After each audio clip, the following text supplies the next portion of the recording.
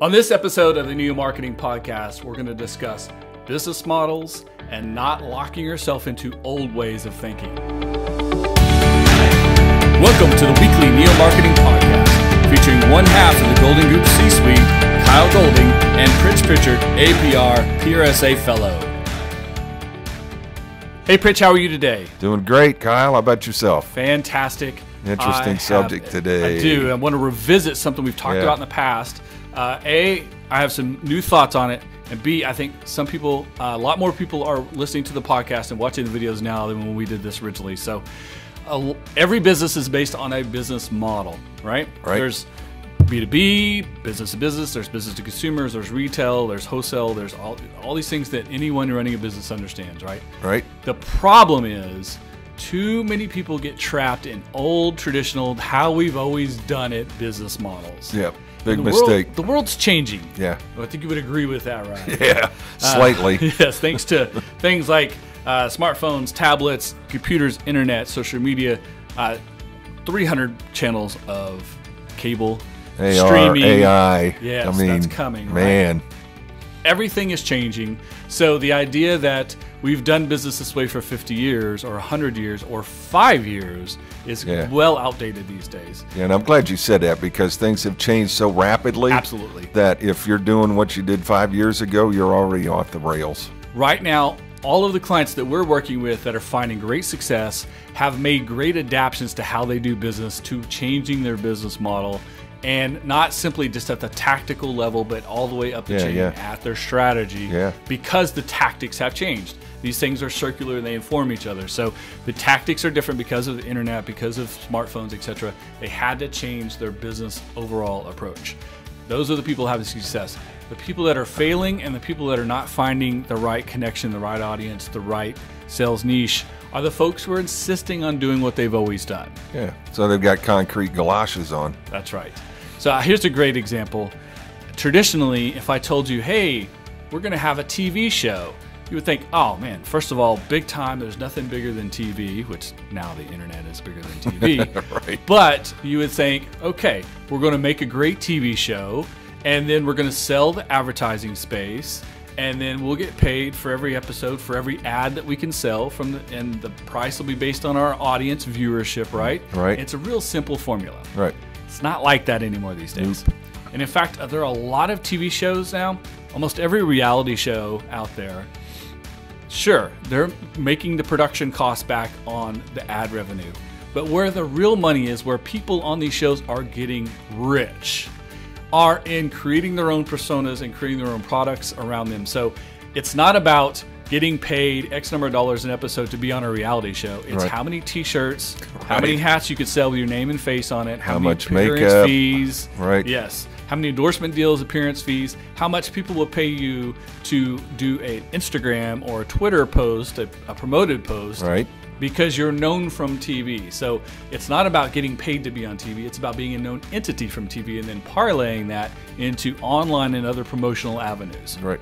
It's where lots of opportunities are happening. Flip side is true. uh, Promoting, you would think that promotions would come from TV as being your biggest asset, but the internet has, has flipped that around too. So a lot of the favorite TV shows that I like to watch, huge range of type of TV shows from Game of Thrones and The Walking Dead uh, on Sunday uh, evenings, HBO and AMC, uh, CNBC's uh, The Profit with Marcus Lemonis, Shark Tank, Right. etc. These are all types of shows I watch, so I follow them on social media.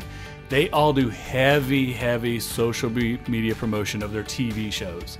They're using social media to drive audiences to turn on the TV and watch the shows. Right. And it's not the other way around. It's not a TV commercial to promote uh, a social media account. It's the other way around.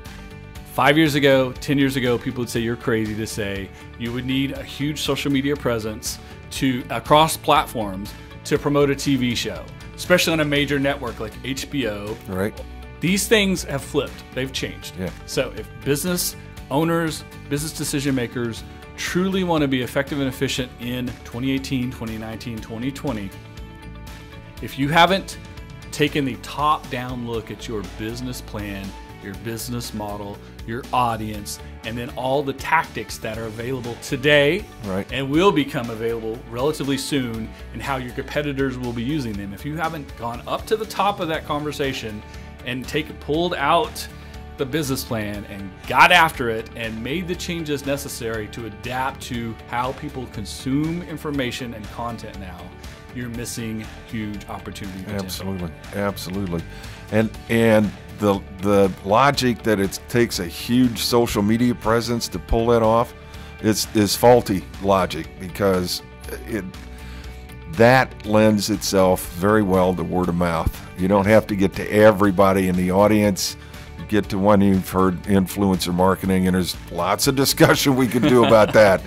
It's a but whole other show. Somebody somebody says something to their friends, and they say something to their friends, and it's like ripples in a in a pond. Exactly. And so it's not the fact that that these TV shows and other entities are using social media; it's how they're using how they're social using media. it. They're doing that. They're creating shareable content that can move the needle, move conversations, get people to retweet, to send things to their friends, to ask questions.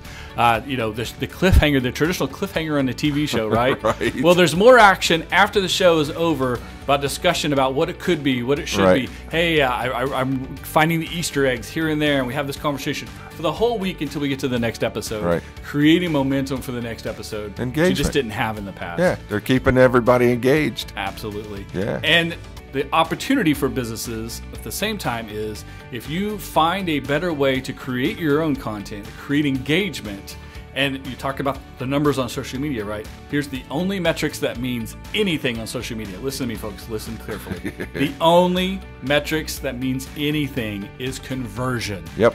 How many people can you convert? You can have 100 million followers, but zero conversions is still zero. You can have 10 followers, but if they are retweeting, sharing, engaging, drawing other people to your product, and then acting on what it is you want them to do yeah. buy, turn on your show, go to a website, etc., that conversion rate is success. Absolutely. So, the key, folks, don't think about business the way you've always thinking about it. And you might do a business plan review. You might look at everything top to bottom, engage the new tactics, and still see you're on the right track.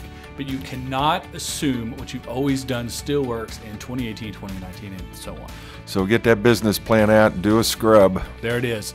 Start with strategy, get into the minutia of it, do your additional research if you need to into what has changed or what's new, because you have new competitors, new tactics, new opportunities, new things happening on a regular, new laws, new regulations, etc. We had net neutrality, now it's gone again back to where the, the internet was for the first 20 years of the internet. We had three years of net neutrality. Now we're back to an open internet. The, the, the, the private market is going to take care of that.